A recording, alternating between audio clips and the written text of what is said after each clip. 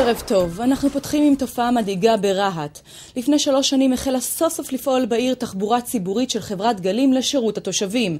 אז למה נהגי אוטובוסים שעובדים בעיר מפחדים לנסוע? אחמד אבו סוויס עם הפרטים. הנושא הזה, חושך, אתה לא מסתכל, שומע בום, פתאום אתה מסתכל ולא רואה שום אף אחד. התסריט של הנהג הזה, אל תטעו, לא קורה בכבישי השטחים, אלא כאן בתוך העיר רהט.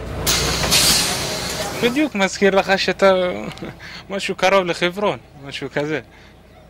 זה מאוד מסוכן.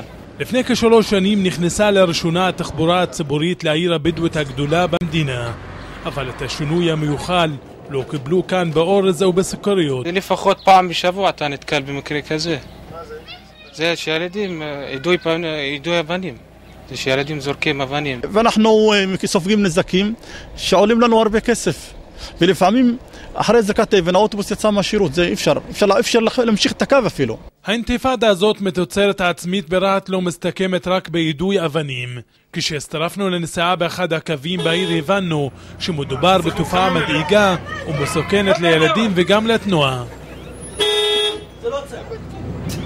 זה עכשיו עוד שעה תבוא, יותר ילדים ויותר אנשים ויותר מבוגרים גם, לא רק ילדים.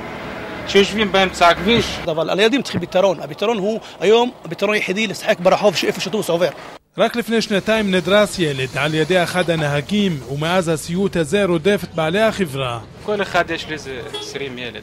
איזה ארבע ילדים בגיל, בגיל כ- כולם אותו גיל. אז אין לו זמן בשבילם.